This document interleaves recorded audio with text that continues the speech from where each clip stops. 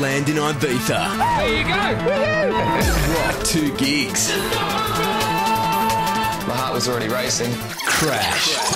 Get up and get ready to smash out the performance of your life. 20, 30,000 people in front of you. So why is their manager pulled the plug? I reckon we should f- this gig off. He should be there. For me, that was weird. And Australia first, the Stafford Brothers. Friday 8.30 followed by Rehab Party at the Hard Rock Hotel, Fox 8.